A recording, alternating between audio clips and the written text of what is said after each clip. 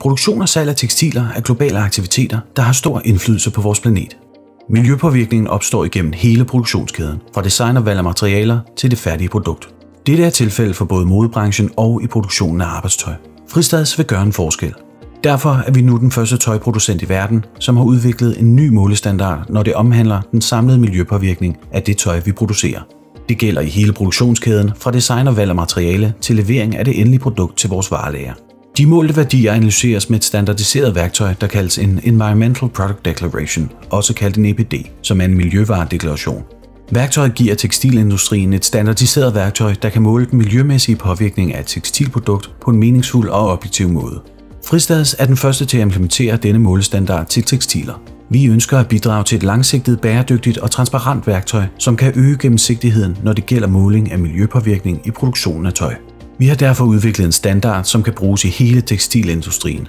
Som en del af dette initiativ lancerer vi Fristad Green, et koncept, hvor hele produktionskæden er designet og udviklet med fokus på miljøbevidsthed og innovative løsninger for at skabe et grønnere fodaftryk i miljøet. Vi startede med en kollektion til håndværkere, og siden da er flere produkter kommet til. Materialerne er økologisk bomuld, genbrugspolyester og tensile lyocell, en træfiber fra sporbare kilder.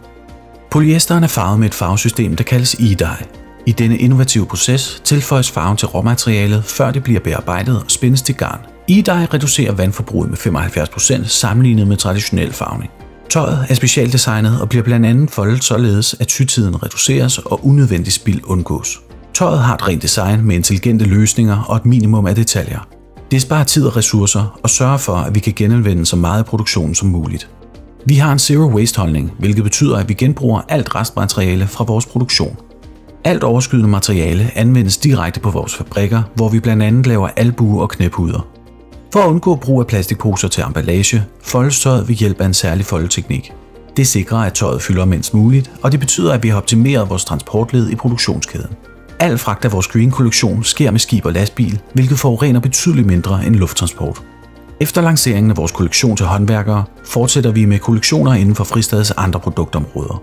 Vores Fristads Green-kollektioner med miljødeklaration har banet vejen for gennemsigtighed i en industri med hårdt brug for forandring.